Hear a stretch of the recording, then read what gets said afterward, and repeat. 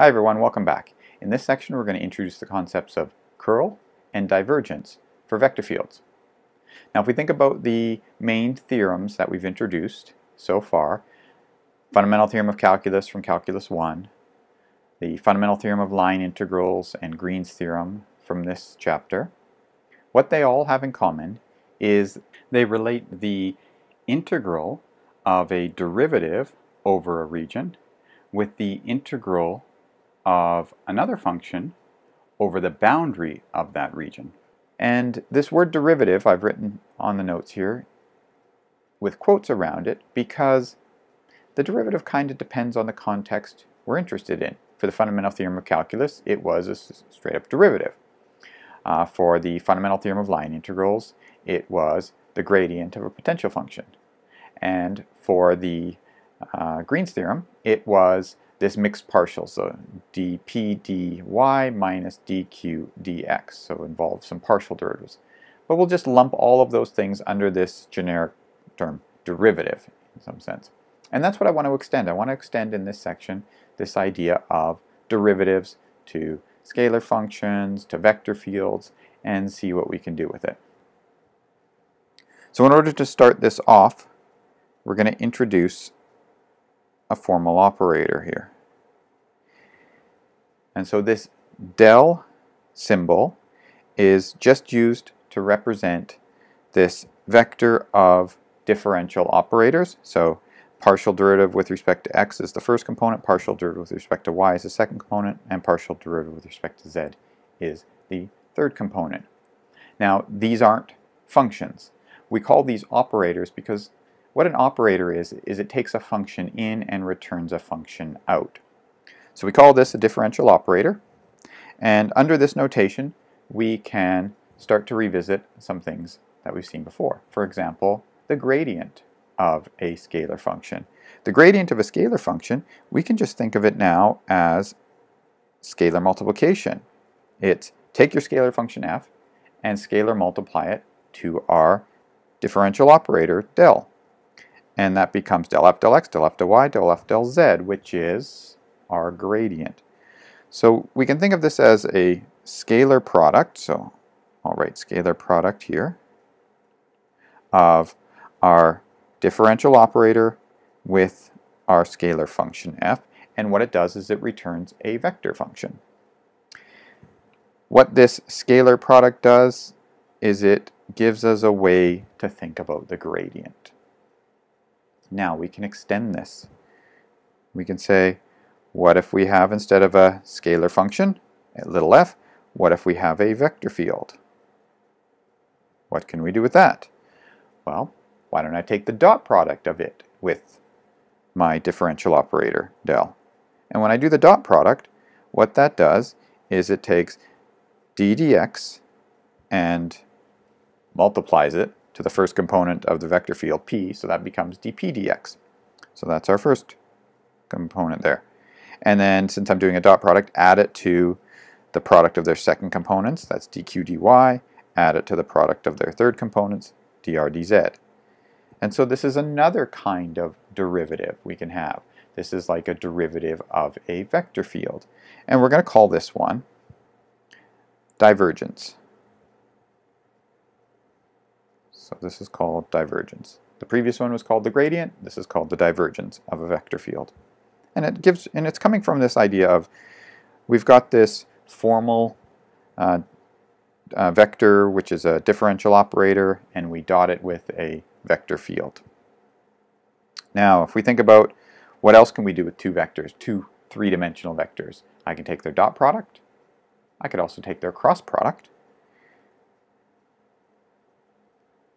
So that's this next one. If I take the differential operator and cross it with a vector field, then, and just do the formal cross product as we would, we get this object down here,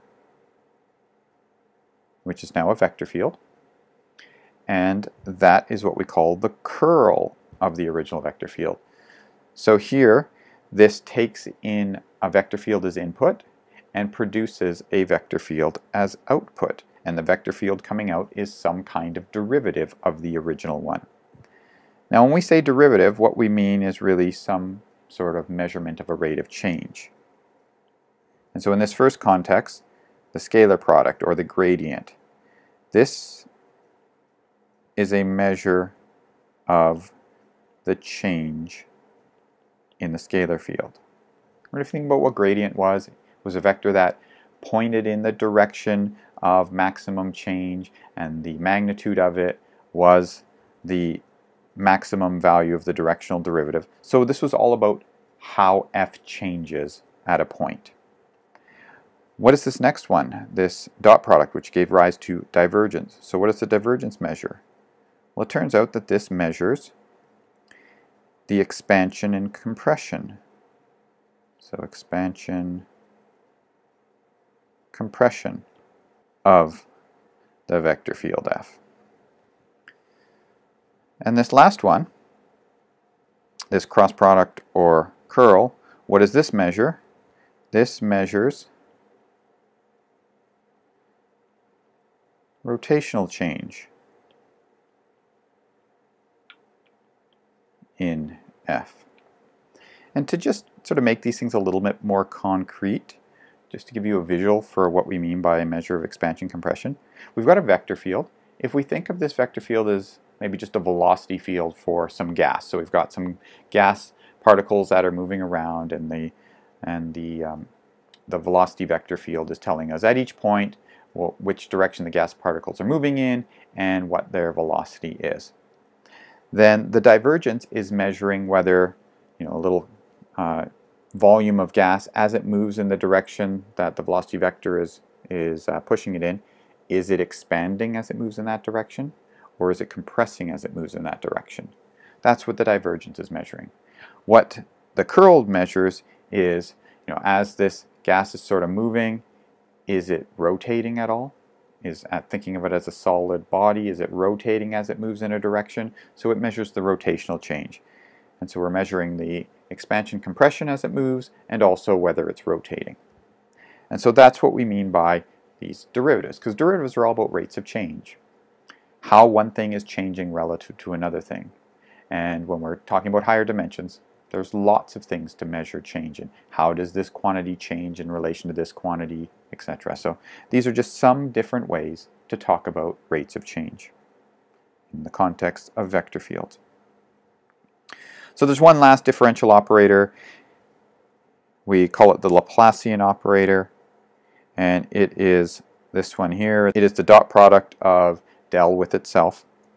And so we typically refer to that as del squared. So this is del squared f, which is del dot del times f, which is just the sum of the second partial derivatives of f. So that's just another measure of some change of a scalar function. We're going to be focused on the first three, gradients, divergence, and curl. So let's explore these notions of divergence and curl a little bit more in depth. So this in this box is just a definition of the curl again. So let's get to some examples. We want to find the curl of each of the following vector fields. So this can be written as curl of f, or in terms of helping to remember how to compute it, it's del cross f, which is i, j, k,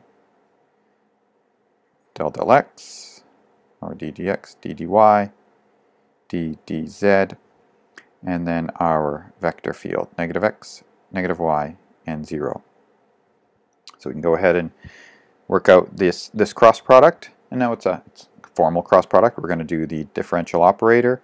When we do the multiplication, the differential operator gets applied to whatever function uh, it's essentially being multiplied to. And so for the first component, we get the y derivative of 0, which is 0, and the z derivative of negative y, which is 0. So the first component becomes 0. The second component, it is the x derivative of 0, and then plus the z derivative of x, which is 0. And then the last one is, we are basically, for this last component, we are saying it's the x derivative of negative y, and then minus the y derivative of negative x. Both of those are 0. So we end up with getting 0 as our curl. And so this is telling me that the curl of this vector field is 0, and so in some sense there's no rotation happening in this vector field. So we call this vector field a non-rotational vector field. One way to think about this, and I've got this little paddle wheel over here, is if I take this paddle wheel, there you can see it without a background behind it. If I take this paddle wheel and I just let it sit on, I'm imagining now this is a, a bunch of liquid, so fluid um, flowing around, and this vector field is the velocity field for this fluid, so it tells me which direction the fluid is flowing at that point and how fast it is. Then putting this little paddle wheel in the water, it'll move with the vector field. But if it starts to spin as well as moving, then the spin of it is detecting rotational change. And so what this is telling me, the fact that it's non-rotational, tells me that if I have this paddle wheel sitting in here and it flows along with the velocity vector field, it's actually not going to rotate. It just will stay in the same position it is, just translate along. There'll be no rotation. That's what this zero curl is telling me. Okay, let's have a look at the next example. So we're going to find the curl of this vector field. And so that's going to be i, j, k. We will zoom in on it a little bit. And that's d, dx, dy, dz of negative y, x, and 0. And so this cross product becomes, maybe we'll help ourselves by using a bit of visual, so we'll cross out that column, and the product is the derivative of y, uh, the derivative of 0 with respect to y, which is 0, minus the derivative of x with respect to z, which is 0. So the first component is 0. The second component we get by the derivative of 0 with respect to x plus the derivative of y with uh, derivative of y with respect to z. Both of those are 0. So that becomes 0. And then the last component is the derivative of x with respect to x plus y with respect to y. So that's 1 plus 1 are 2. So our curl is 2 k hat. And so what that means is that there is some rotation happening in this vector field. If I put my paddle wheel in the vector field, it'll start to move around, but it'll also spin. What direction will it spin? The 2 in some sense is telling me some measure of how fast it'll spin. We're not going to get into detail on that. But the k-hat is telling me that it's spinning in the positive, with a positive uh, z component because of the 2. So by the right-hand rule, it's going to be spinning in the counterclockwise direction.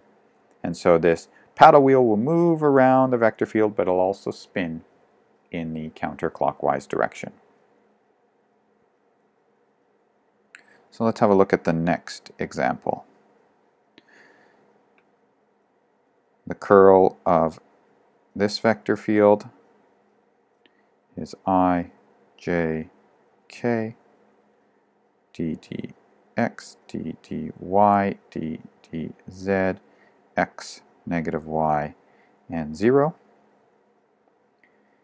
And much like the one directly above it, when we take the cross product, we get 0. So this is another non-rotational vector field. And lastly, we can take the curl of this one, and that's again i, we'll zoom in a little bit, i, j, k, ddx, ddy, ddz, and that's uh, 0, x, 0. And so what do we get here? The first component is going to be 0, the second component is 0, and the third component here is going to be 1. So you get 0, 0, 1, or in other words, k hat. And so that's telling me again that it's going to rotate in the clockwise direction. this time with some speed related to the, the number 1, so maybe half the speed as the one above because it was 2 k hat, whereas this one's only 1 k hat. Okay, so there's some examples of calculating the curl. Now one thing we notice is that in a couple of cases they were non-rotational. We've got the curl being 0. Can we say anything about when the curl will be 0? I'm going to give you a bit of a hint here. If we look at this vector field, is this a conservative vector field? Is it the gradient of some potential function? Well, I need the first component to be the x derivative of whatever function I write down, and the second component to be the y derivative. And I can see that negative 1 half x squared minus 1 half y squared, I'll have to move that bracket over, y squared. That is a potential function for this vector field. So it is conservative. Okay, maybe that's just a coincidence. Maybe it was conservative and, and its curl just happened to be 0. Let's check the other one that had a curl of 0. In this case, this too is also a conservative vector field. And there is a potential function for it. And it turns out that this is a general result. If we have a conservative vector field, then the curl of it is always going to be zero. But more than that, if we have a vector field that's defined on all of R3, and the component functions have continuous partial derivatives, and the curl is zero, then it has to be conservative. So there is this tight connection between having a curl of zero and being a conservative vector field. In other words, these non-rotational vector fields seem to be precisely the ones that are conservative vector fields. And that's what our theorems are telling us here.